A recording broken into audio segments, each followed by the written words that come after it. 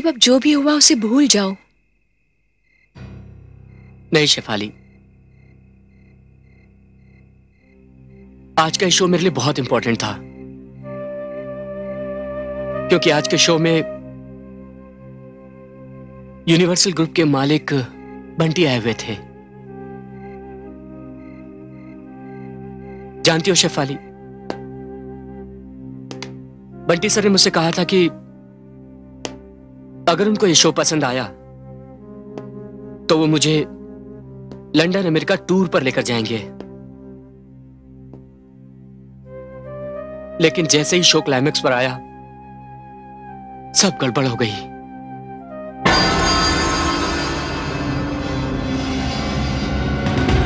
संदीप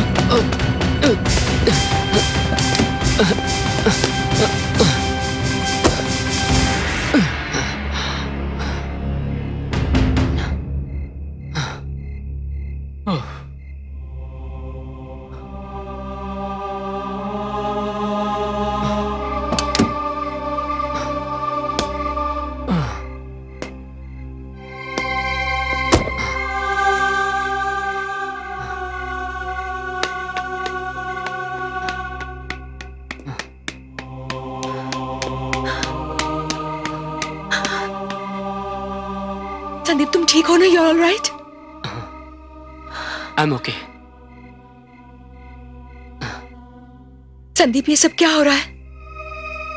पता नहीं शेफाली शो के बाद मैं इतना अपसेट हो गया। गाड़ी पार्क करने के बाद शायद मैं हैंड ब्रेक लगाना भूल गया। संदीप अब तुम और ज़्यादा अपसेट मत हो। आई नो संदीप कि तुम कितने टैलेंटेड हो और तुम्हारी कामयाबी को कोई भी नहीं रोक सकता। आई नो शेफाली लेकिन अगर ये सब बार बार होने लगा तो संदीप ये एक इत्तेफाक था हो गया। अब तुम इसके बारे में जितना सोचोगे तुम उतना ही परेशान रहोगे। Come on Sandeep cheer up it's all right चलो संदीप तुम मुझे घर छोड़ दो। अब तुम भी घर जाओ और आराम करो। Okay okay. तो चले? चलो बैठो।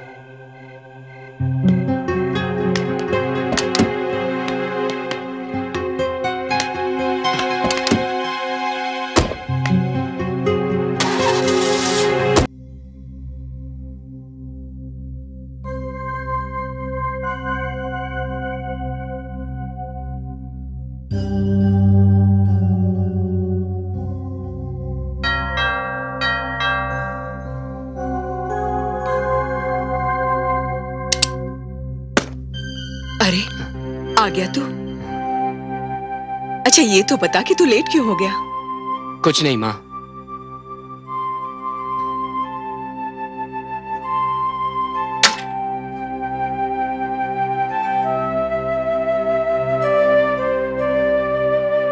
अच्छा ये तो बता तेरा शो कैसा रहा? क्या बात है बेटा? तू शो के बारे में कुछ बता क्यों नहीं रहा है? आज शो में बहुत गड़बड़ हो गई माँ। गड़बड़? हाँ माँ शो को बीच में ही रोकना पड़ा। मगर ऐसा क्या हुआ? पता नहीं माँ लाइटिंग में क्या प्रॉब्लम हो गई। एक के बाद एक बल्ब फूटने लग गए। लोग डर के मारे यहाँ वहाँ भागने लगे। इसलिए प्रोग्राम को बीच में ही रोकना पड़ा। ये तो बहुत बुरा हुआ। मगर होता है। कभी कभी ऐसा भी होता है। माँ जिस तरह शो चल रहा था ना अगर उसी तरह पूरा हो जाता तो आज मैं बंटी साहब के साथ बैठकर लंदन और अमेरिका के टूर के बारे में बातें कर रहा होता।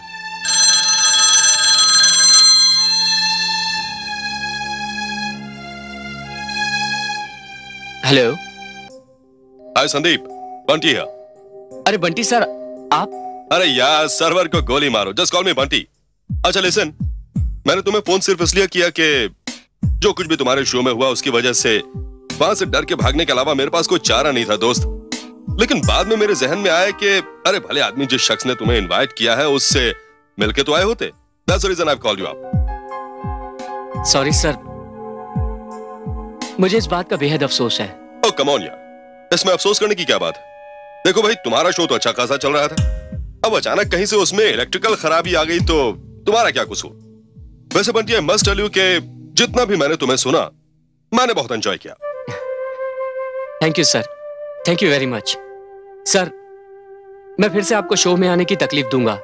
No no no no not necessary Bunty अब उसकी कोई ज़रूरत नहीं है। ऐसा है कि मैंने तुम्हें सेलेक्ट कर लिया है। सर यस माय डियर अब तुम मेरे लंदन और अमेरिका टूर के मेन सिंगर हो।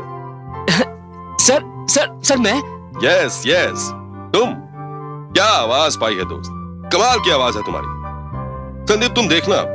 तुम अपनी आवाज़ से सारी दुनिया में तहलका मचा दोगे। याद रखना। थैंक यू सर अच्छा लिसन तुम एक काम करो। कल सुबह तुम मेरे ऑफ़िस में आ जाओ। जस्ट अ फॉर्मेलिटी जरा कॉन्ट्रैक्ट पेपर साइन कर लेना। Okay thank you sir thank you very much I hang up good night माँ क्या हुआ बेटा? सब आपके आशीर्वाद का फल है। बंटी साहब का फ़ोन था। उन्होंने मुझे कल ऑफ़िस बुलाया कॉन्ट्रैक्ट साइन करने के लिए। सच? हाँ माँ।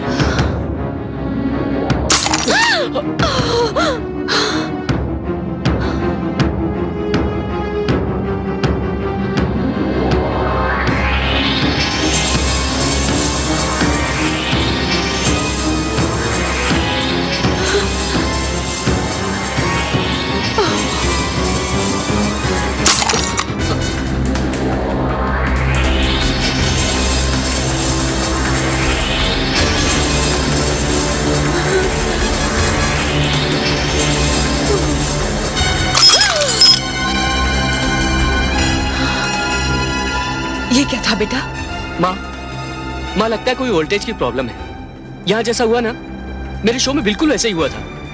मैं बाहर जाकर मीटर चेक करके आता हूँ।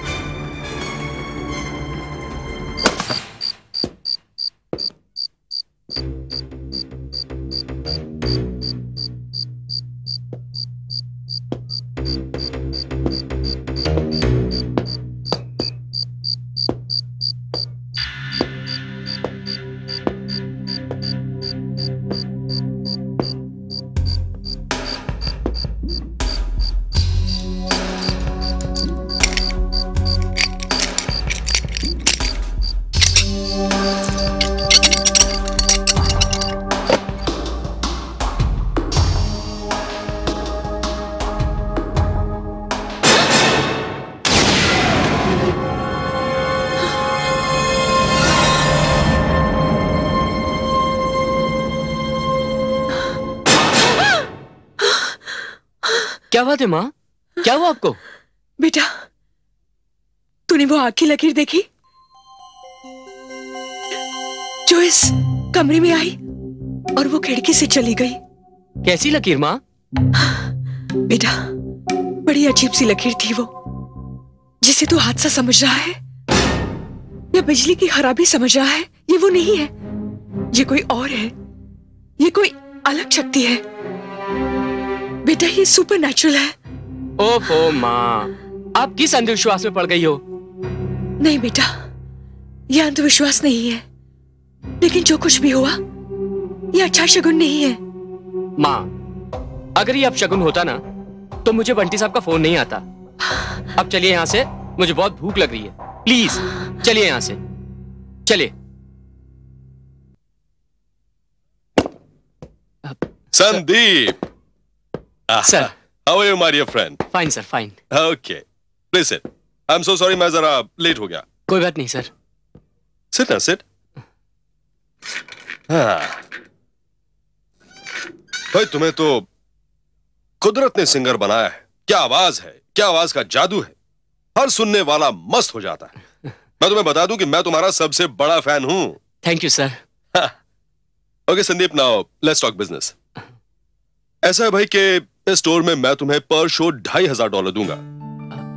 और अ, अमेरिका और लंदन मिला के मेरे ख्याल से कम से कम पचास शोज़ तो होंगे। आ, आ, आ, सर आप आप मेरे दिल की हालत नहीं समझ सकते सर। मैं सब समझ सकता हूँ डियर फ्रेंड सब समझ सकता हूँ। सूरी प्लीज़ कम इन हाँ। और क्या चल रहा है इसके अलावा? या प्लीज़ कम इन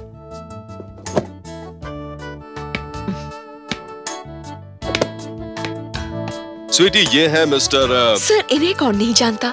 आज तो हर जबान पर इन्हीं का नाम है। Oh yeah. Thank you sir ये रहा एग्रीमेंट संदीप एक बार पढ़ लो इसे। सर इसकी कोई ज़रूरत नहीं। अगर आपने बनाया तो ठीक ही होगा। नहीं नहीं फिर भी। साइन करने से पहले just go through it okay sir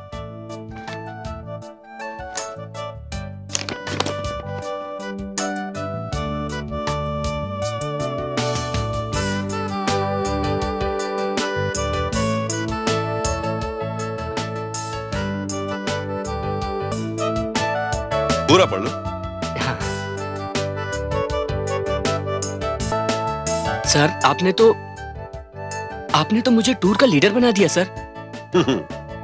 कोई एतराज़ है तुम्हें? नहीं सर। और हाँ इसके अलावा मैं तुम्हें पर शो दस परसेंट कमीशन अलग से दूँगा। थैंक यू सर भाई इस तरह देख क्या रहे हो? Come on sign yes sir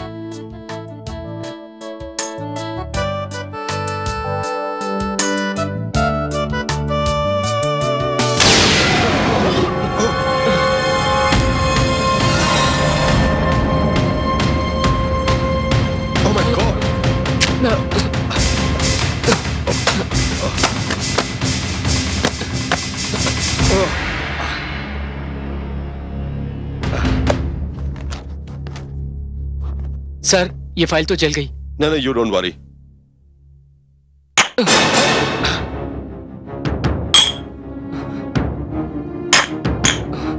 my god ये हो क्या रहा है? शांताराम, अरे कोई है? शांताराम शांताराम शांताराम, ये क्या हो रहा है? What the hell is happening? Shantaram, Damn it!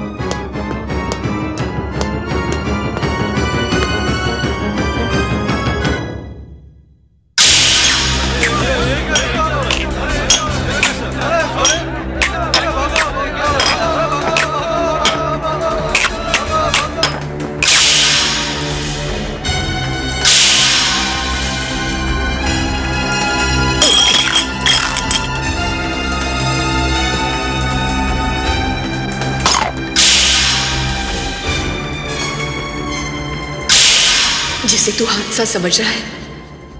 या बिजली की खराबी समझ रहा है? ये वो नहीं है। ये कोई और है। ये कोई अलग शक्ति है। बेटा, ये सुपर नेचुरल है।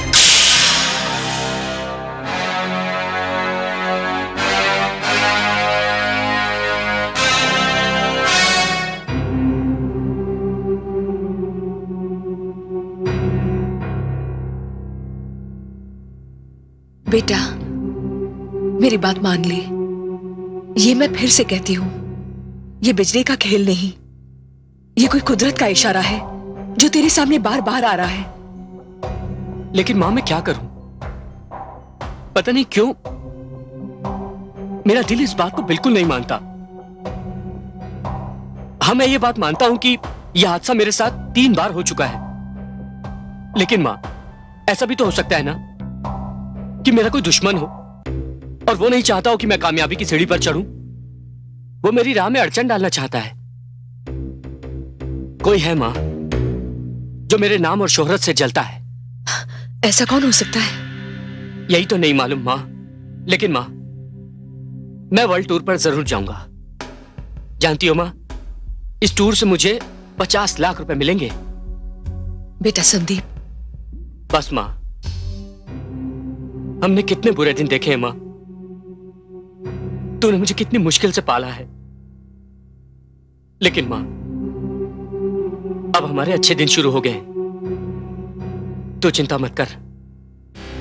मेरा दुश्मन मेरा कुछ नहीं बिगाड़ सकता है, क्योंकि तेरा आशीर्वाद मेरे साथ है। बेटा, मेरा आशीर्वाद तो हमेशा तेरे साथ है। मैं तो हमेशा यही चाहती हूँ कि तू सही सलामत रहे, मेरी नज़रों के सामने रहे, और तुझ पर कोई आँच ना आए। मुझ पर कोई भी आँच नहीं आएगी, माँ। तू फ़िक्र मत कर। लेकिन, माँ, मैंने ठान लिया है। मैं इस वर्ल्ड टूर पर ज़रूर जाऊँगा। ज़रूर जाऊँगा, माँ।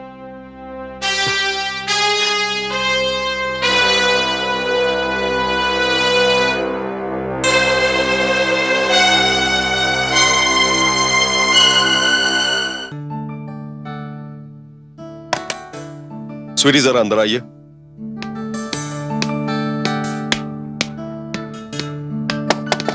come in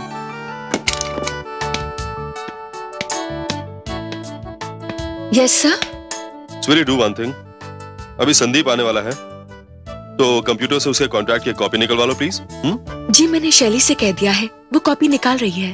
Very good hello Bunty sir oh hi come on my dear dear friend Hi. Come in come in बड़ी लंबी उम्र है तुम्हारी। अभी तुम्हारे बारे में बातें हो रही थी। सिरान सिरान स्वीटी जरा देखो तो कॉन्ट्रैक्ट की कॉपी का क्या हुआ सर सर क्या हुआ शाली व्हाट्स रॉन्ग सर आपने जो कॉन्ट्रैक्ट का मैटर डिक्टेट किया था वो मैंने टाइप तो किया था लेकिन पता नहीं कंप्यूटर से इरेज हो गया। व्हाट हाँ सर और उसके साथ और भी एक दो इम्पोर्टेंट डॉक्यूमेंट थे वो भी इरेज हो गए। कम ऑन शैली तुम्हारा दिमाग खराब हो गया। ये सब तुम्हारी लापरवाही तुम्हारी गलती की वजह से हुआ है। नहीं सर शैली कंप्यूटर की मास्टर डिग्री होल्ड करती है। स्वीटी, तुम चुप रहो प्लीज़ ये सिर्फ़ एक ह्यूमन एरर है। कोई जादू टोना नहीं है डैमेज नो फॉर क्राइस्ट से खड़े खड़े मेरा मुँह मत देखो। जाओ यहाँ से।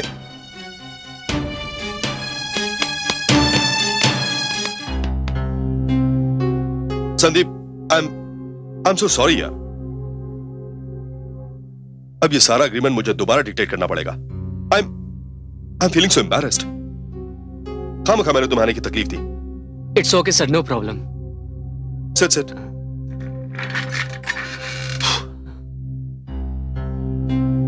anyway ये कॉन्ट्रैक्ट तो साइन होता ही रहेगा Sandeep.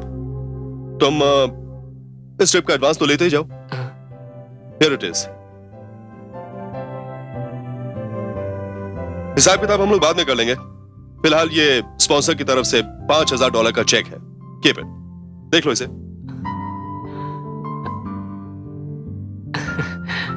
Thank you thank you very much sir हाँ। मैं चलता हूँ फिर आऊँगा। Okay bye bye take care thank you ya.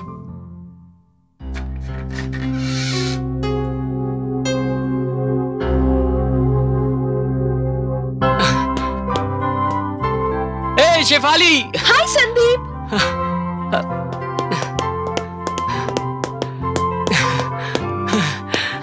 क्या बात है? बहुत खुश दिखाई दे रहे हो? हाँ शेफाली आज खुशखबरी है। तुम मेरे साथ आई हो ना।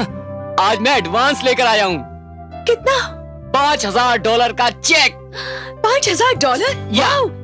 तब तो ट्रीट हो जानी चाहिए। वाई नॉट अभी चले। चलो। चलो।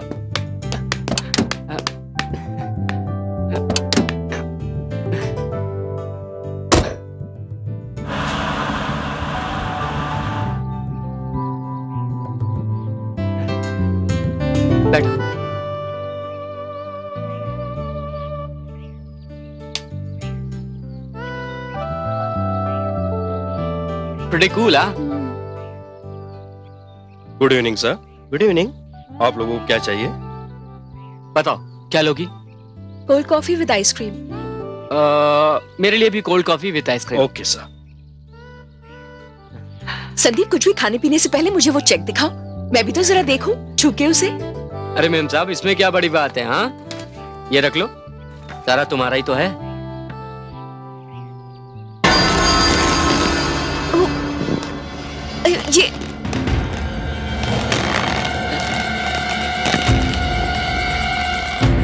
संदीप संदीप ये क्या हो रहा है? देखो।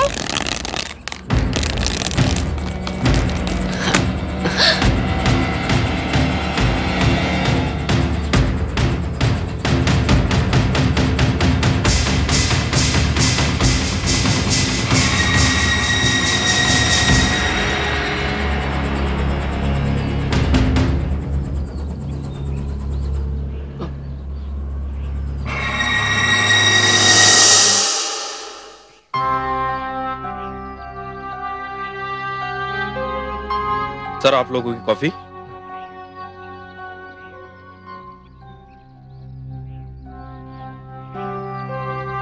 Keep the change thank you sir चलो। सर आपका इन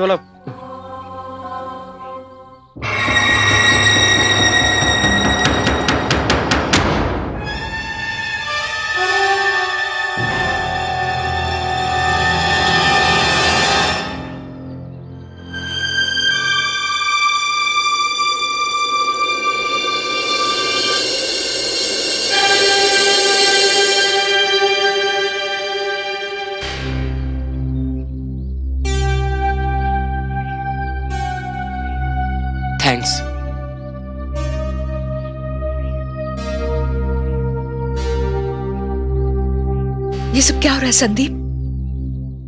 मेरे भी कुछ समझ में नहीं आ रहा। चलो यहाँ से।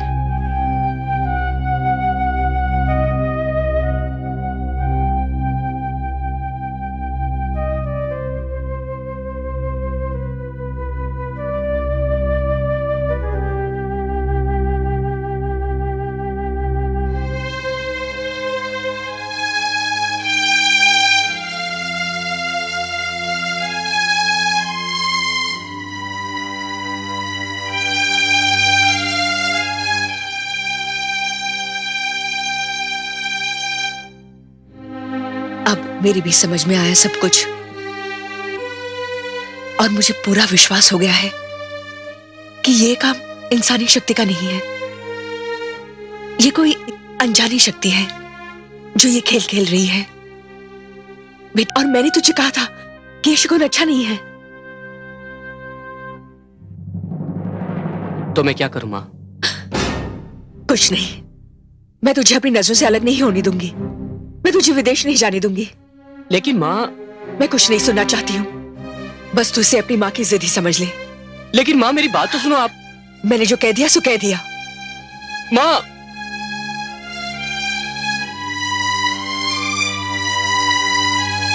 संदीप माँ जो कह रही है वो ठीक तो कह रही है। कमान शेफाली तुमने भी माँ का साथ देना शुरू कर दिया। चलो काफ़ी देर हो गई। मैं तुम्हें घर छोड़ाता हूँ। चलो।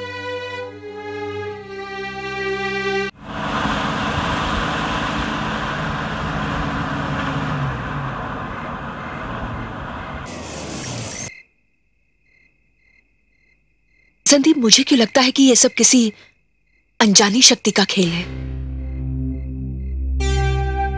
शेफाली, अगर ये किसी अनजानी शक्ति का खेल है, या फिर किसी सुपर नेचुरल पावर का काम है तो मेरे साथ ही क्यों?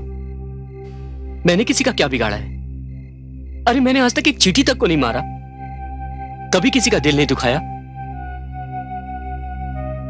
मैं अपनी माँ के साथ दर दर की ठोकरें खा चुका हूँ। खाली पेट तक सोया हूँ। और आज आज जब कामयाबी मेरे कदम चूम रही है तो कौन सी शक्ति है वो? कौन सी शक्ति है जो मेरे साथ ये खेल खेल रही है? क्यों? आखिर क्यों?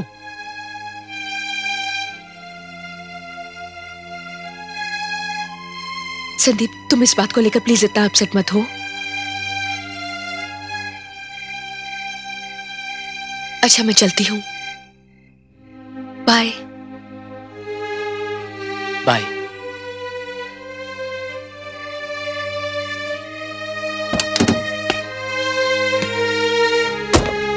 बाय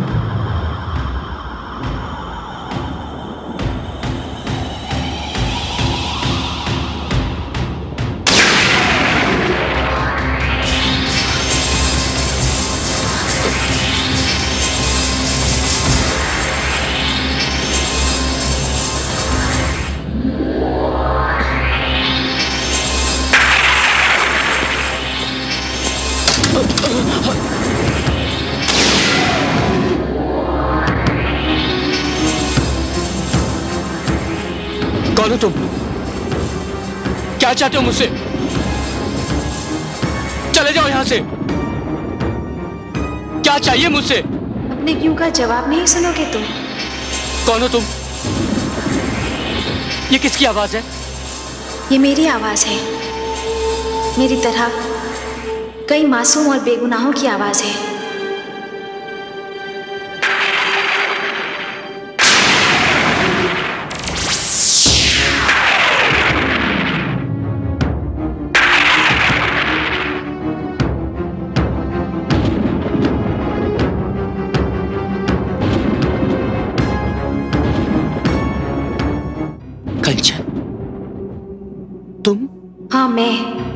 कंचन।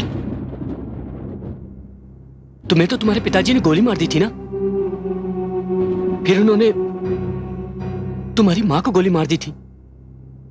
फिर खुद अपने आप पर गोली चलाकर उन्होंने आत्महत्या कर ली थी। नहीं, संदीप। मेरे पिताजी ने मुझे नहीं मारा। और ना ही उन्होंने मेरी माँ को मारा। और ना ही उन्होंने खुदकुशी की। बल्कि हम तीनों का कातिल कोई और है। क्या? हाँ हम तीनों का कातिल कोई और है।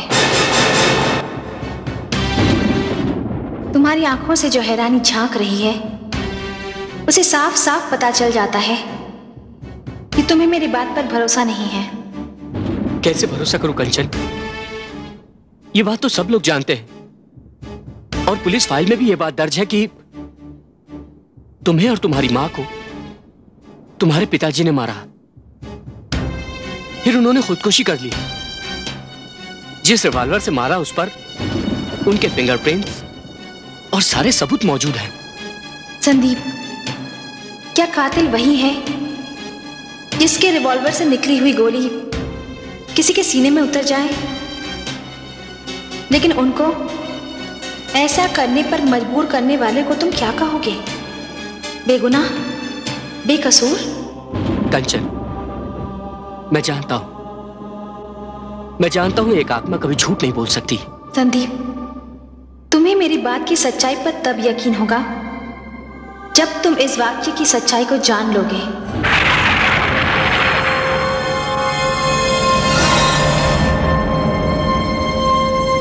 संदीप तुम्हें मेरी बात की सच्चाई पर तब यकीन होगा जब तुम इस वाक्य की सच्चाई को जान लोगे, हम सब अपने गाँव में खुश थे। जैसे कि तुम जानते ही हो, मैं अपनी माँ बाप की इकलौती बेटी थी। मेरे पिताजी फौज से रिटायर हो चुके थे। अगर उन्हें किसी भी बात की चिंता थी तो वो सिर्फ़ मेरी थी। घर में बैठे बैठे मैंने एमए कर लिया था। और मेरे पिताजी मेरे लिए लड़का ढूंढ रहे थे। कंचन बेटे बेटे कंचन। अरे पापा।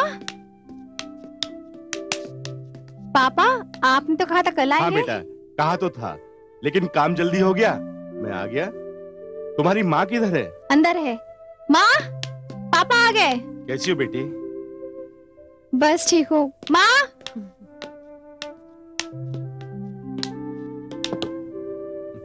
कैसा रहा आपका सफ़र? सफ़र जरा लंबा था थक गया हूँ। आप हाथ मुँह धो लो मैं नाश्ता तैयार करती हूँ। अरे नाश्ते की छोड़ कांता मेरी बात सुन। तुझे तो पता है कि मैं अपने पुत्र के लिए लड़का देखने गया था। हाँ। मैं बैग रख के आती हूँ। अरे सुन तो सही कंचन। शर्म आ गई। आप कुछ कह रहे थे? हाँ कांता बैठो। बैठो।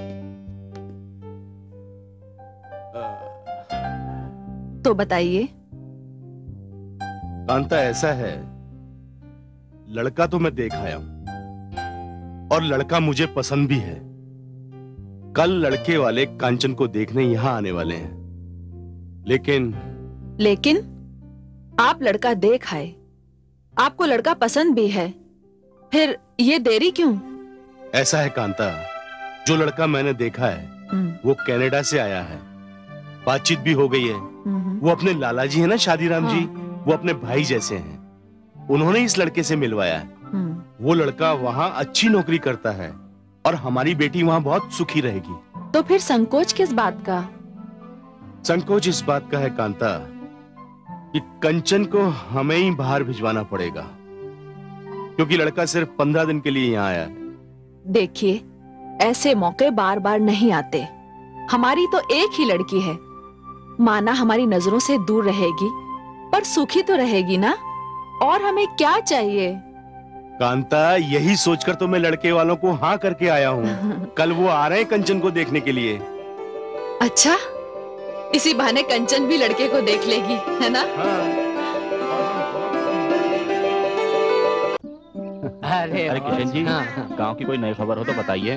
अरे गाँव की नई खबर ये है सरपंच जी कि हरदयाल चौधरी की बेटी की शादी तय हो रही है। अच्छा अच्छा ये बात है। हाँ। अरे अरे। चौधरी साहब आ रहे हैं। अरे अरे हरदयाल चौधरी। सरपंच जी नमस्कार। नमस्कार भाइयों।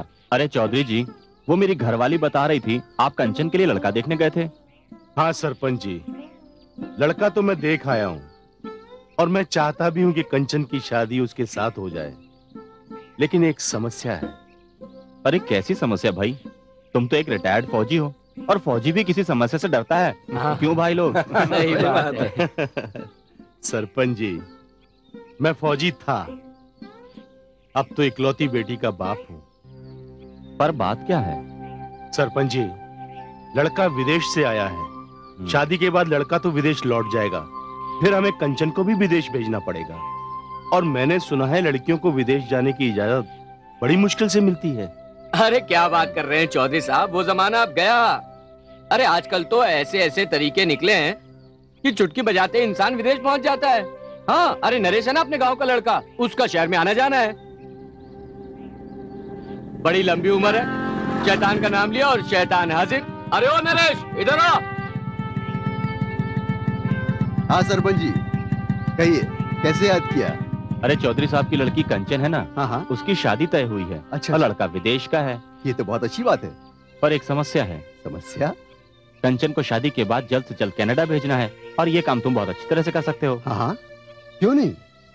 चौधरी साहब मेरा एक दोस्त है शहर में। अब तक न जाने कितने लोगों को वो विदेश भेज चुका है। लड़की की चिंता आप बिल्कुल मत कीजिए। आप तो एक काम कीजिए चट मंगनी और पट ब्याह कर डालिए और बाकी सब मुझ पर छोड़ दीजिए। मैं आपका सारा काम करवा दूँगा। बेटा तुम्हारी बात तो ठीक है पर इस काम में कुछ खर्चा तो आएगा ना। अरे चौधरी साहब मैं हूँ ना और जो कुछ भी होगा आपस में निपट लेंगे। आप बिल्कुल फ़िक्र मत कीजिए। अरे चौधरी साहब आप सारा मामला नरेश पर छोड़ दीजिए और कंचन तो इस गाँव की बेटी है। विदेश जाएगी तो सुखी रहेगी। क्यों भाई लोग? हाँ, हाँ, ना? सही बात है। जी, जी। तो बेटा मैं हाँ कर दूँ? हाँ चौधरी साहब बिल्कुल हाँ कर दीजिए। ठीक है सरपंच जी। हम्म। ॐ स्वस्ति न इन्द्रो वृद्धश्रवाः। स्वस्ति नः पूषा विश्ववेदाः। स्वस्ति नस्तारक्षो अरिष्टनेमि। स्वस्ति नो बृहस्पतिर्ददातु ॐ स्वस्ति न इन्द्रो वृद्धश्रवाः।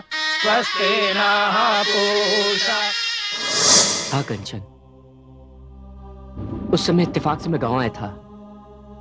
और और मुझे याद है। मुझे याद है, मैं तुम्हारी शादी पर मौजूद था। तुम कितनी खुश थी। और अगर तुम्हें याद होगा, उन दिनों मैं सिंगर बनने की कोशिश कर रहा था। और इसलिए मुझे शहर वापस जाना पड़ा। हाँ। तुमने तो सिर्फ़ फेरे देखे थे। लेकिन फेरों के बाद जब लड़की विदा नहीं होती तो वो अपने माँ बाप पर बोझ बन जाती है।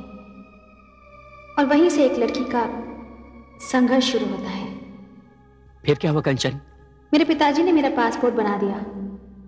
लेकिन कनाडा जाने वाली दुल्हनों की इमिग्रेशन लिस्ट बहुत लंबी थी। इस हिसाब से चार पाँच साल लग जाते मुझे कनाडा पहुँचने में। तब मेरे पिताजी ने नरेश का सहारा लिया।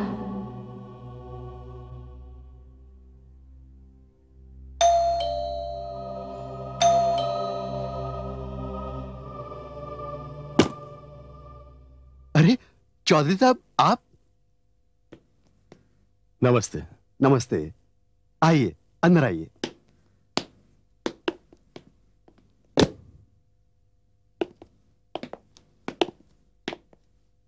आइए बैठिए कहिए कैसे आना हुआ बेटा नरेश तुम्हें याद है ना तुमने कहा था कि तुम मेरी बेटी कंचन को कनाडा भिजवा सकते हो? हाँ हाँ क्यों नहीं? आ, लेकिन आप तो उसके वीज़ा के लिए कॉन्सुलेट गए थे ना उसका क्या हुआ? बेटा कॉन्सुलेट तो मैं गया था लेकिन उसके पहले मैं तुम्हारे पास आया था लेकिन मुझे पता चला तुम कहीं बाहर गए हुए हो। तो मैंने सोचा कॉन्सुलेट जाकर मैं अपनी किस्मत आजमा लूँ बेटी का मामला है ना? हाँ वो कुछ काम से मैं बाहर गया था। बेटे अगर तुमने मेरी बेटी को बाहर भेजने की ज़िम्मेदारी न ली होती तो मैं अपनी बेटी का रिश्ता शायद उस लड़के से नहीं करता। अरे तो चौधरी साहब ज़िम्मेदारी से भाग कौन रहा है? आप हुक्म कीजिए। बेटा जितनी जल्दी हो सके मेरी बेटी को कनाडा भेजने का इंतज़ाम कर दो। इंतज़ाम तो हो जाएगा चौधरी साहब लेकिन उसके लिए कुछ खर्चा आएगा। मैं तैयार हूँ।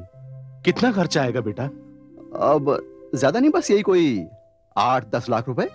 आठ दस लाख? बेटा, मैं एक रिटायर्ड फौजी हूँ और अभी बेटी की शादी में कितना खर्च हो गया? नरेश बेटा, एक फौजी को उसकी ज़िंदगी में सिवाय तमगों और वाहवाही के कुछ नहीं मिलता। मैं अपना सब कुछ भी बेच दू ना तो भी पाँच छह लाख से ज़्यादा नहीं मिल सकता।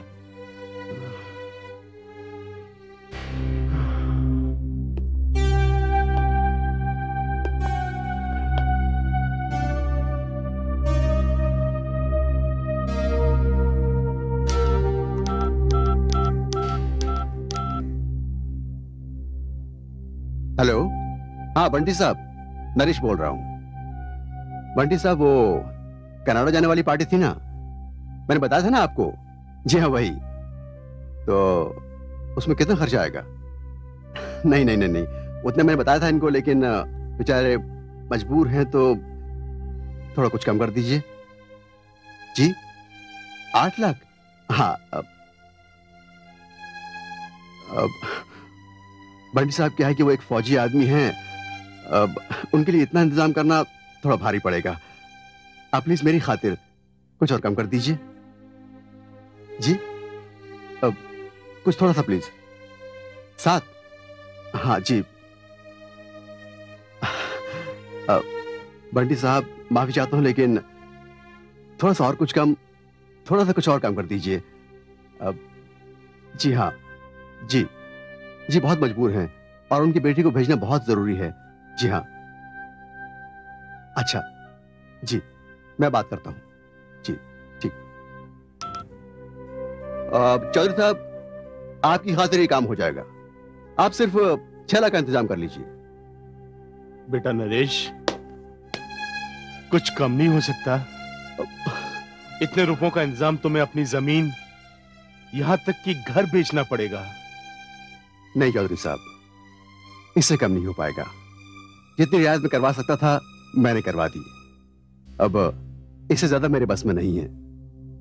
ठीक है।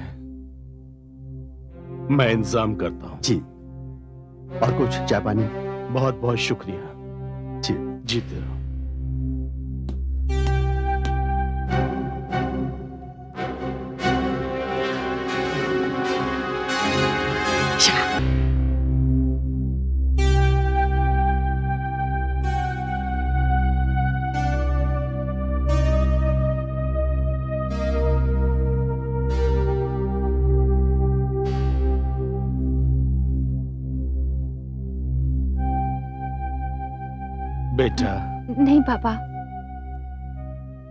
नहीं हो सकता। बेटियाँ क्या माँ बाप को उजाड़ने के लिए पैदा होती हैं? अगर मुझे इस बात का पता होता तो मैं इस शादी से खुद इनकार कर देती। बेटा ये सोचना भी गलत है। अब तो कुछ भी हो जाए तुझे बाहर भिजवाने का इंतज़ाम करना ही पड़ेगा। तू नहीं जानती बेटा ये समाज दो मुहे सांप की तरह है। मैं तेरी ज़िंदगी बर्बाद नहीं होने दूँगा चाहे मैं खुद बिक जाऊँ। नहीं पापा अगर आप ऐसा कुछ करेंगे तो मैं अपनी जान दे दूँगी। बेटा मैंने सारी ज़िंदगी अपनी इज़्ज़त कमाई है। और अगर आज मेरी इज़्ज़त पर बात आई है तो तू बाद में जान देगी। पहले मैं अपने आप को खत्म कर लूँगा। पापा। हाँ बेटा तुझे तेरे पति के पास भेजकर हम जैसे भी होगा जी लेंगे। मैं अभी भी काम कर सकता हूँ। हम ये गाँव छोड़कर शहर चले जाएँगे। तू इस बात की चिंता मत कर। और देख, इस मामले पर हम दोबारा बात नहीं करेंगे। समझी?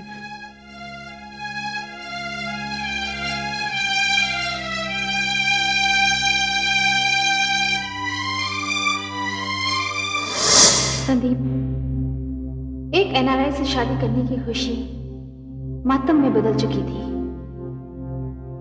मेरे लिए वो एक भयानक सपने की तरह था, क्योंकि अब मैं कुमारी भी नहीं रही थी। कई बार जी में आया कि मैं बगावत कर दूँ। खुद इस रिश्ते को तोड़ने का ऐलान कर दूँ। लेकिन एक डर मेरे मन में था। मैं अपने पापा को अच्छी तरह जानती थी। मुझे मालूम था जिस दिन उनके आत्मसम्मान को ठेस लगेगी, वो अपनी जान दे देंगे। और इस दुनिया में मेरे लिए सबसे ज़्यादा प्यारे मेरे पापा ही थे। आखिर वही हुआ। मेरे पापा ने पैसों का इंतज़ाम किया और मुझे उस इंसान से मिलवाने ले गए, जो मुझे कनाडा ले जाने वाला था। आइए आइए। प्लीज़ चौधरी साहब आप यहाँ बैठिए। मैं जरा बंटी साहब से मिलकर आपको अंदर बुलाता हूँ। ठीक है। जी बैठिए। बैठो बेटा।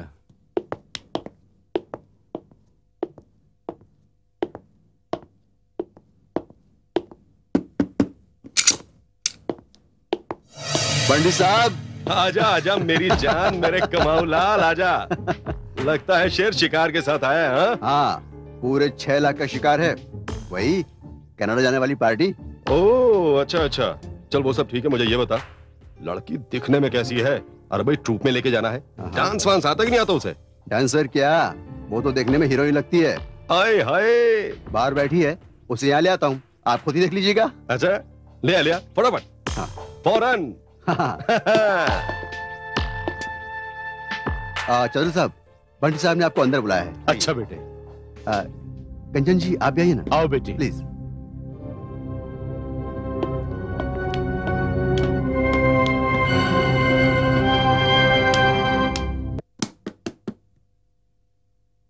कम इन आइए।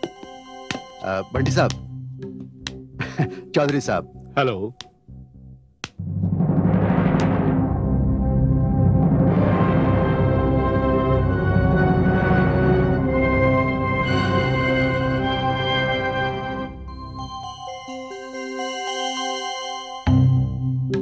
आइए आइए। आइए अंकल जी। आइए बैठिए। हेलो सर हेलो बैठिए। बैठिए प्लीज़ बैठिए। चौधरी साहब इनसे मिलिए। यही है वो मसीहा जो जो लोगों का कल्याण करते हैं। हमारे बंटी साहब। जी ये मेरी बेटी कंचन है। नमस्ते जी। इसी को आपको कनाडा भेजना है। अंकल जी आप मेरे पास आ गए हैं ना? अब आप बिल्कुल निश्चिंत हो जाइए। आप तो ये समझ लीजिए कि आपकी बेटी कनाडा पहुँच गई। अच्छा कंचन जी आपको थोड़ा बहुत डांस वांस आता है ना? जी। नहीं नहीं बस वैसे ही थोड़ा बहुत। यू नो वो बात दरअसल ये है कि मैं अपना ट्रुप फॉरेन कंट्रीज़ लेके जाता हूँ। आपको मेरे साथ वहाँ आर्टिस्ट बन के चलना होगा। तो उसी के लिए थोड़ा बहुत यू नो वहाँ पहुँचते ही मैं आपको आपके पति के पास भेज दूँगा। और एक बार आप कनाडा पहुँच गई तो आप ये समझ लीजिए कि आपको वहाँ से कोई नहीं निकाल सकता। ये मेरा दावा है। देखिए बंटी साहब अपनी बेटी की खुशी के लिए मैंने अपनी हस्ती मिटा दी है। अब सब कुछ आपके हाथ में है। अंकल जी मैं हूँ ना। आप मुझ पे भरोसा रखिए। अच्छा आप रुपए लेके आए हैं ना? हाँ जी हाँ। थैंक यू पूरे छह लाख हैं। आप गिन लीजिए प्लीज़ कैसी बात कर रहे हैं अंकल आप? आप तो मुझे शर्मिंदा कर रहे हैं। अरे गिनने की क्या ज़रूरत है? मैं ये बात अच्छी तरह से जानता हूँ अंकल जी कि कोई भी बाप अपनी बेटी के सुख के लिए बेईमानी नहीं करेगा। अंकल जी आप इतमान रखिए और सात मार्च का इंतज़ार कीजिए क्योंकि सात मार्च को ये हमारे साथ कनाडा जा रही हैं। बहुत बहुत शुक्रिया। और हाँ आप इनका पासपोर्ट मुझे भिजवा दीजिएगा। जी ज़रूर। और हम लोग फिर सात मार्च को मिलते हैं एयरपोर्ट पर। ठीक है जी? शुक्रिया। ठीक। ओके जी ओके।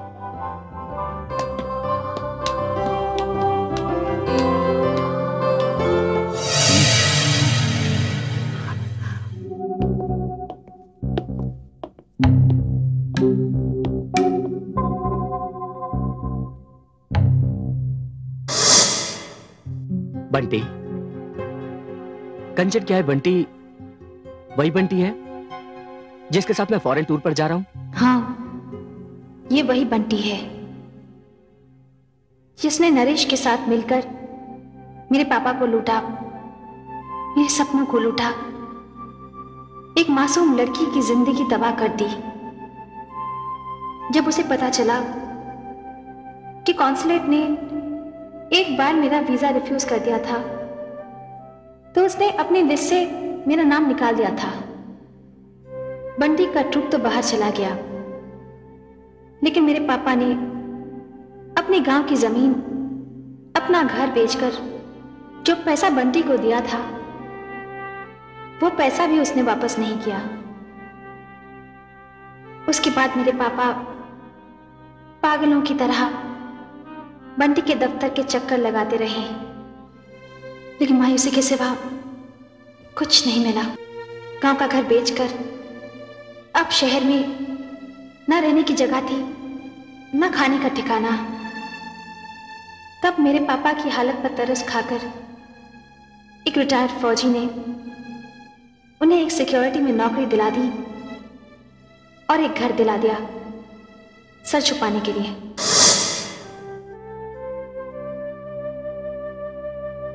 सुनो। हाथ मुँह धो लो, मैं खाना लगा देती हूँ। नहीं। रहने दे, कांता। अब किसी चीज़ में मेरा दिल नहीं लगता। अपनी बेटी के लिए क्या क्या अरमान थे। अपना सब कुछ बेचकर भी मैं उसके लिए सुख नहीं खरीद सका। आज थक हार कर मैं थाने गया था। कोई रिपोर्ट लिखने को तैयार नहीं। पूछते हैं, आपके पास बंटी के खिलाफ क्या सबूत है? मेरे पास तो एक ही सबूत था वो नरेश, जो आजकल दिखाई नहीं देता। मैं अपनी बेटी को जहाँ भी बैठा देखता हूँ, जितनी बार भी बैठा देखता हूँ उतनी बार मेरी मौत होती है। और तू खाने की बात कर पापा। बेटा। पापा अगर इसी तरह सब कुछ चलता रहा तो हमें से कोई नहीं बचेगा। सब मर जाएँगे। आप अन्य के दाने को हाथ नहीं लगाएँगे। तो माँ का क्या होगा? और आप दोनों को इस हालत में देखकर क्या रोटी करने वाला मेरे हलक से उतरेगा? बेटा तू ही बता। मैं क्या करूँ? मैं तेरे लिए कुछ नहीं कर सका। कुछ नहीं कर सका।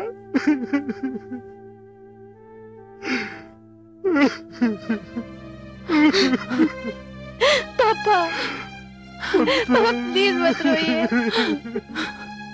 प्लीज़ मत रोइए, पापा। सब ठीक हो जाएगा, पापा।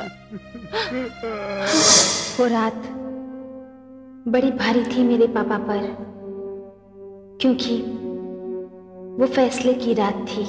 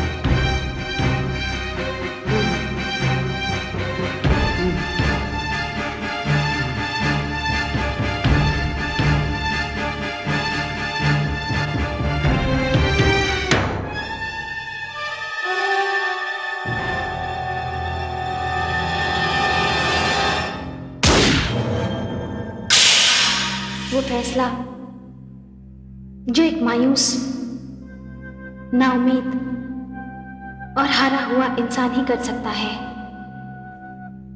अब तुम बताओ संदीप मेरा मेरी माँ का और मेरे पिता का कातिल कौन है? कंचन तुमने ठीक कहा था। तुम तीनों का कातिल बनती है। और बंटी को उसकी कड़ी से कड़ी सजा मिलनी चाहिए। संदीप बंटी इतना बड़ा शातिर और बदमाश है। कि वो इस बार तुम्हें अपने ट्रूप का लीडर बनाकर भेज रहा है, ताकि इस धोखाधड़ी के सारे इल्ज़ाम तुम पर आए। और इस बात के लिए तुम बहुत खुश हो, क्योंकि तुम उसे अपना मसीहा और हमदर्द समझते हो। और इसी वजह से तुम अपनी माँ की बात को मान नहीं रहे हो। हालाँकि वो तुम्हें इस ट्रिप पर जाने से रोक रही हैं। लेकिन कंचन अब मैं रुकूँगा नहीं। अब अगर मेरे कदम उठेंगे तो बंटी जैसे बदमाशों का नाश करने के लिए और मैं जानता हूँ कि वह नरेश कहाँ पर है। मैं उन दोनों को नहीं छोड़ूँगा। नहीं छोड़ूँगा मैं। नहीं संदीप तुम अकेले कुछ नहीं कर सकते। उनका हिसाब अब हम दोनों को मिलकर करना होगा। ठीक है कंचन। हम दोनों उनको ऐसी सजा देंगे कि वो दोबारा किसी के अरमानों की, किसी की उम्मीदों की हत्या न कर सके।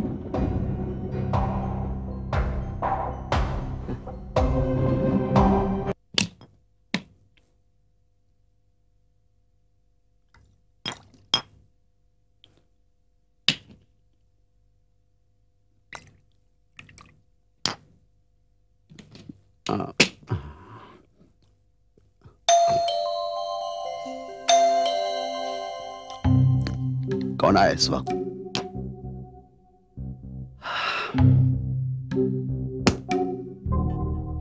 अरे संदीप साहब आप यहाँ? मेरे घर में? आइए आइए प्लीज़ बैठिए। कहिए कुछ जाम शाम हो जाए? हम्म, मैं नहीं पीता। अच्छा बताइए कैसे आना हुआ? मुझे तुमसे एक खास काम है। हाँ हाँ कहिए क्या बात है? तुम लोगों को विदेश भेजने का काम करते हो ना? हाँ लेकिन आपको मेरी ज़रूरत क्यों पड़ गई? एक लड़की है जिसकी कनाडा में अभी शादी हुई है। लेकिन उसका पति उसे वहाँ नहीं ले जा सकता। तो इसमें कौन सी बड़ी बात है? अपने बंडी साहब तो यही काम करते हैं। आप तो उन्हें अच्छी तरह जानते भी हैं। हाँ मैं जानता हूँ। लेकिन मैं उनसे बात नहीं कर सकता। ये काम तुम्हें करना है। मुझे? देखो वो लड़की तुमसे शाम को मिलने आएगी। और अपना हिसाब किताब उससे समझ लेना तुम। जी। और लेन देन में कोई शर्म मत करना। जी। ठीक है? तो वो लड़की तुमसे शाम को मिलने आएगी और उसका नाम है शेफाली ओके। चलता हूँ।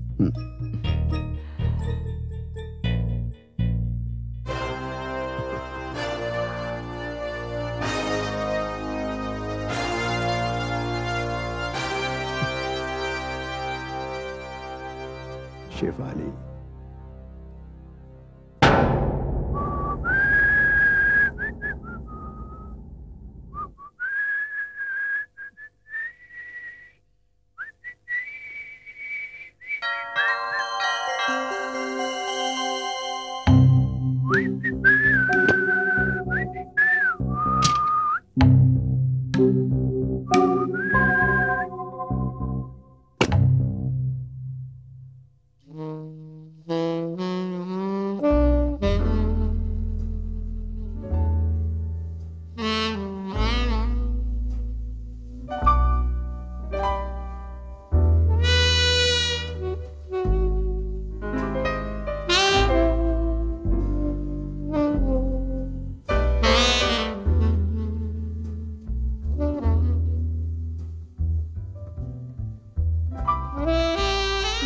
शिफाली। हाँ हाँ। संदीप जी ने मुझे भेजा है। संदीप सर ने बताया था मुझे आपके बारे में। आइए ना अंदर आइए। प्लीज़ कम प्लीज़ कम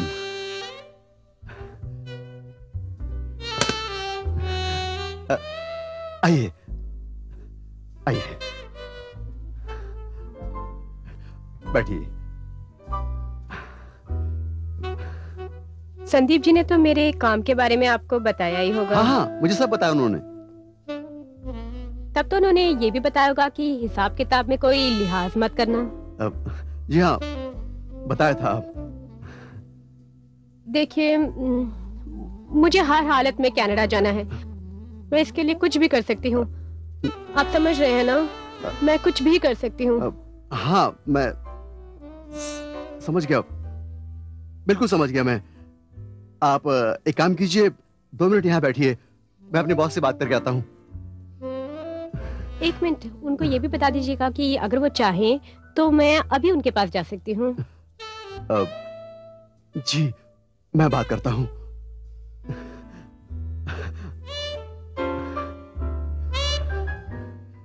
अ, शिफाली बस दो मिनट। मैं भी आया।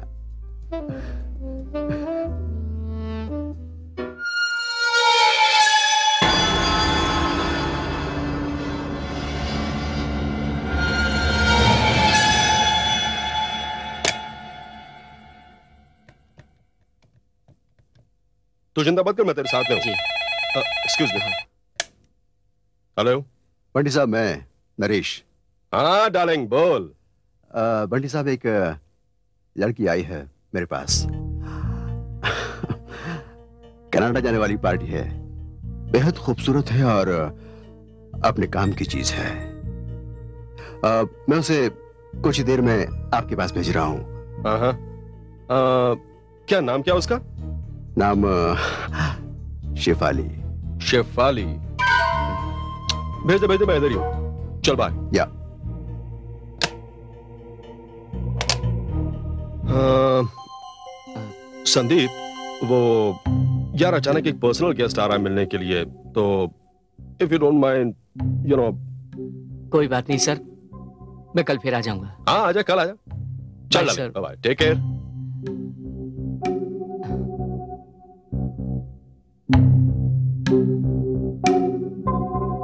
welcome Shefali welcome Shefali Bunty साहब से मेरी बात हो गई है तुम्हारा काम हो जाएगा तुम जल्दी ही कनाडा पहुँच जाओगी अब कुछ हिसाब किताब की बात हो जाए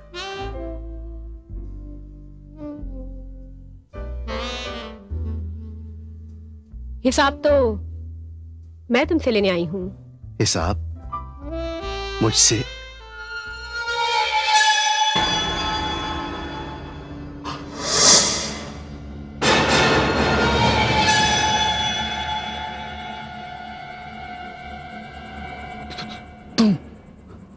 कंचन। हाँ मैं मर चुकी हूँ। मैं अब शरीर नहीं आत्मा हूँ। आत्मा। कंचन। तू मेरा पहला मुजरिम है। अगर तू ना होता तो मेरे पिताजी मेरी शादी कभी उस एनआरआई से नहीं करते। नरेश न जाने मेरी तरह कितने लड़के लड़कियों से तूने विदेश भिजवाने के नाम से पैसा लिया और फिर धोखा दिया उनकी ज़िंदगी बर्बाद की। तुझे क्या हक है ज़िंदा रहने का। मुझे माफ़ कर दो। नहीं नरेश तू माफ़ी के काबिल नहीं है। तूने तो लोगों से पैसा लेकर उन्हें विदेश नहीं भिजवाया। लेकिन मैं तुझे तेरी आखिरी सफ़र पर ज़रूर भिजवा रही हूँ। मुझे माफ़ कर दो कंचन। मुझे माफ़ कर दो।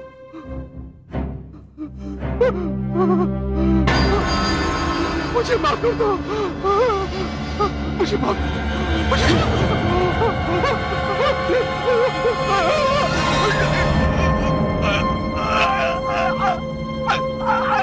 दो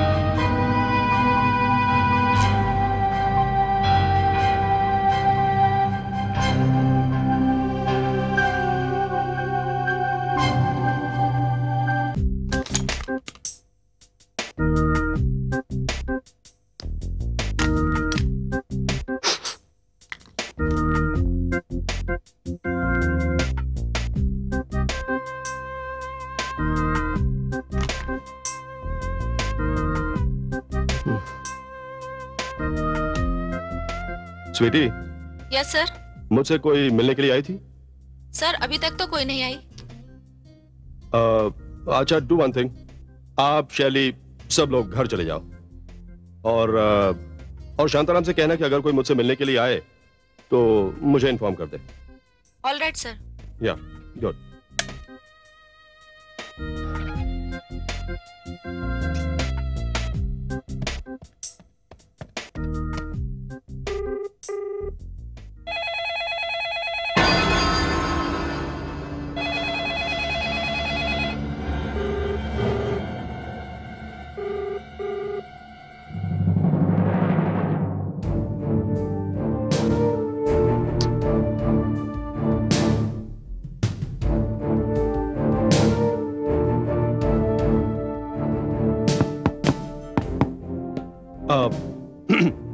yes come in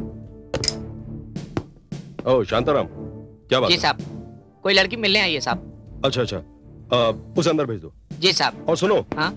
तुम एक काम करो तुम घर जाओ। Okay sir. अ, मैडम साहब ने आपको अंदर बुलाया हो।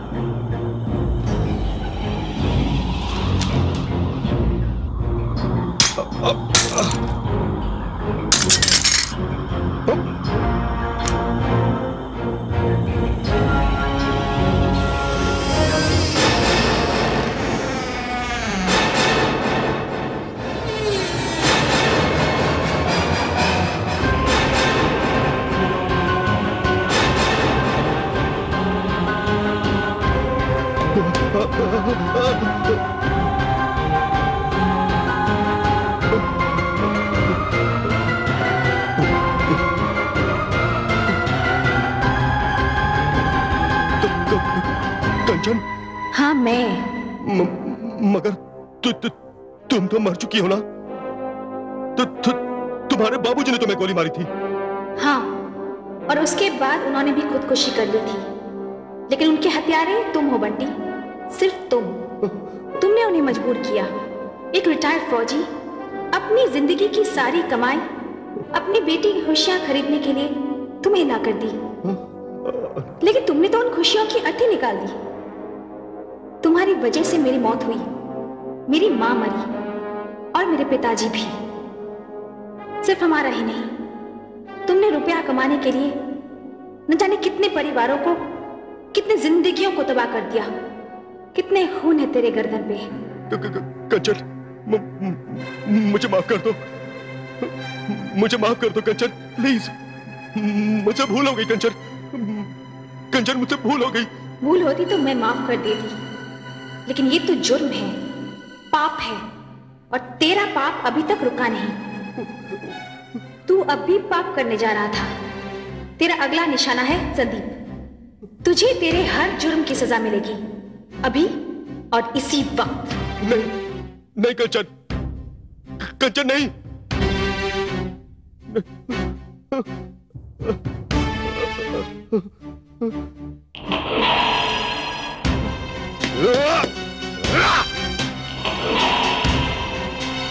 संदीप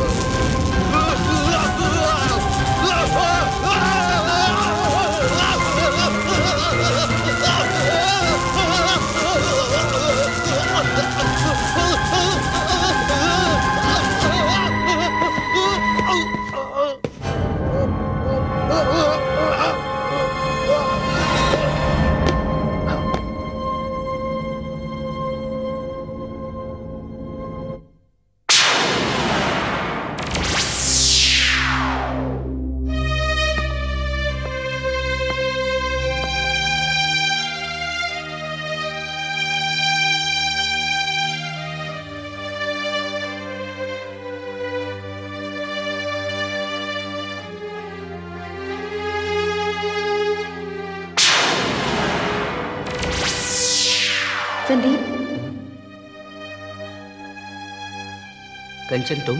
हाँ मैं। मैं तुम्हारा शुक्रिया अदा करने आई हूँ। क्योंकि तुम्हारी मदद से मैं अपने और अपने माँ बाप के कातिलों से बदला ले सकी। अब मेरी आत्मा मुक्त होगी। शुक्रिया अदा तो मुझे तुम्हारा करना चाहिए कंचन। कि तुमने मुझे इतनी बड़ी मुश्किल में फंसने से बचाया।